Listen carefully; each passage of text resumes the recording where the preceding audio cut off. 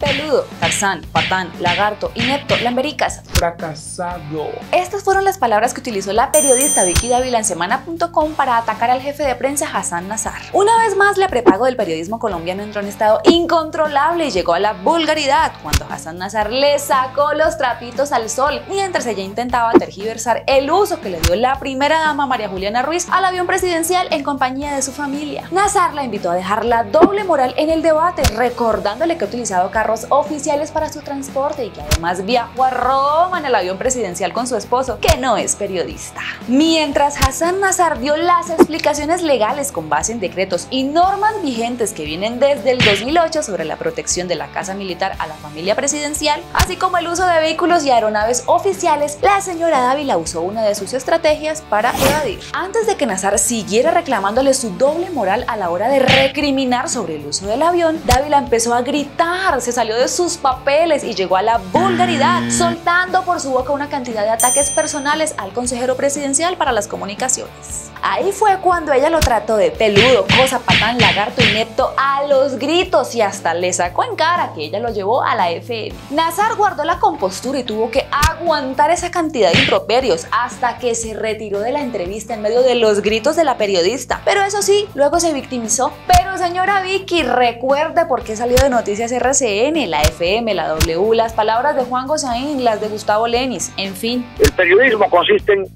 suministrarle a la gente elementos de juicio para que tome conclusiones, no en estar defendiendo campañas ni candidatos ni cosas de Más payasa usted, a mí, me, a mí no me falta el respeto. Confundidos nos deja. No sabemos si sus gritos finalmente eran por tener que admitir al aire el uso sin debido de carros y aeronaves oficiales o simple envidia, porque usted no tiene el puesto de Hassan Nazar a pesar de prostituirse periodísticamente hablando cada semana. Antes de llamarlo inepto, recuerde dónde está él y qué tan bajo ha llegado usted.